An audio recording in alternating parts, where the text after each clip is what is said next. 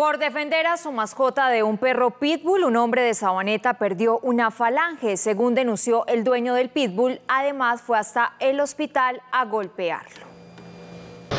John Jairo Osorio sacó a pasear a su perro, Bimbo, en el sector Cañaveralejo de Sabaneta. Según él, cuando estaba a punto de retornar a su casa, apareció el pitbull y atacó a su mascota.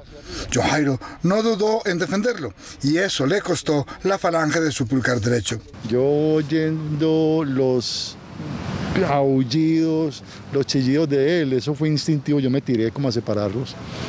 Y estuvimos un rato y de pronto yo veo que el perro este sale, sale, se soltó. Pero cuando yo me levanto no tengo el dedo. Me mochó el dedo de una, una mordida. En medio de su dolor y con la falange, al parecer devorada por el pitbull, este hombre debió sufrir otra agresión en pleno hospital. Llegó el dueño del perro. Yo pensaría que es lo más normal, hombre, que el señor llegaba como aunque, aunque sea por lo menos a tener consideración conmigo, comprensión. No, que yo era un bruto. ¿Cómo me mete usted en una pelea de dos perros y más con uno tan bravo como el mío? Y, y usted es un bruto y me manoteó. A Bimbo debieron cogerle tres puntos. John Jairo perdió su falange y ahora está pendiente de que se haga justicia con el dueño del otro perro.